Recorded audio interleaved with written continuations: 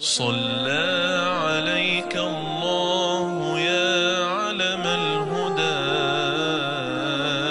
الغاية والهدف من هذا البرنامج هو التعريف برسول الله صلى الله عليه وسلم. الله سبحانه وتعالى قرن بين محبته وبين محبة رسول الله. من يطع الرسول فقد أطاع الله.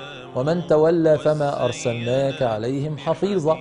تقدم محبة النبي عليه الصلاة والسلام على محبتك لنفسك.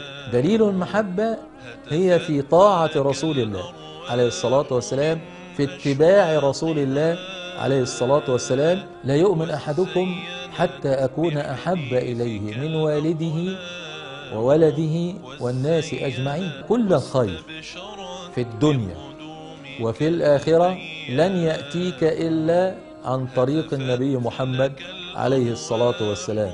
فكلما عرفنا النبي عليه الصلاة والسلام واستغرقنا في معرفته كلما أحببنا رسول الله عليه الصلاة والسلام. صلى